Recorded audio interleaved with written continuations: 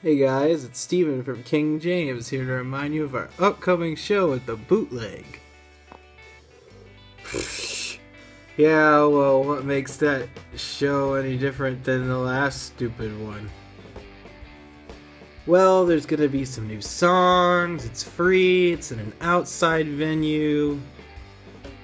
Other Steven, why are you dressed like a sailor?